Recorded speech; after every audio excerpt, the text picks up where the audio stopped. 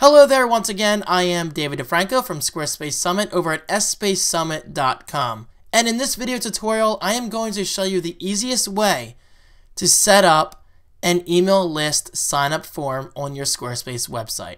This is very useful if you're interested in building your email list like I am. For instance, scrolling down a bit, you'll see that I have my email list sign up form right here where it says follow in my footsteps, learn the tips and secrets behind creating an online career.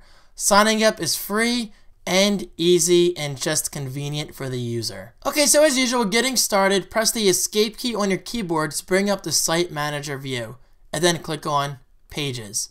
Okay, so this is where you want to either select or create a new page. For this video's purpose, let's just create a new page by clicking the plus icon and selecting page. And let's just call this test page. Now keep in mind, you can add an email address sign up form on any page. Okay, so let's hover anywhere in the white space on your page's content, click edit, and then click any of the add content bubbles, scroll down a bit, and select newsletter. Okay, so this is where you can easily customize your newsletter block. For example, you can require a name field, checking that automatically brings up two new text fields for first name and last name. And scrolling down, you can see that we currently have a sign up button. I'll explain how to change that in a bit. But for now, we can change the title of this sign up form. So let's call this sign up for my email newsletter. It's free. And as you can see, that title automatically displays above my sign up form. And right down here, we can change the description, but in my opinion, to make things a little more simple, let's simply get rid of it. And down here is your disclaimer. Because privacy is very important to the average person, you might want to include a little disclaimer here saying that your email address will never be shared, your privacy will be respected, or anything else that applies. But for now, let's click on storage, and this is where you can customize how your email newsletter sign up form basically talks to other services such as Google Docs or, in my experience, MailChimp. Alright, so let's click on MailChimp, and I can connect my MailChimp account to Squarespace. Let's log in.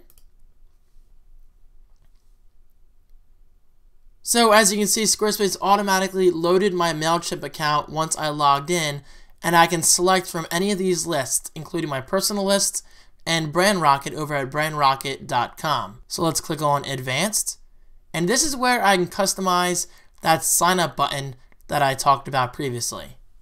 So we can change that to Submit. And down here is a post submit message.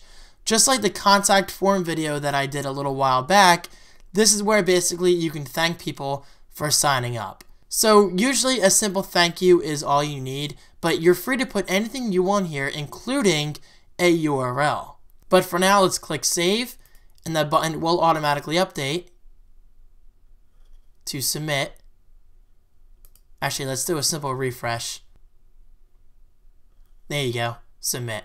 Now, as you can see, it's kind of large, but obviously I can customize that further on but it is incredibly simple and it's free. Oh, and also, by the way, MailChimp is completely free to sign up for and use as long as you don't have more than 2,000 email subscribers. That's just something to keep in mind if you're thinking about taking your email list more seriously.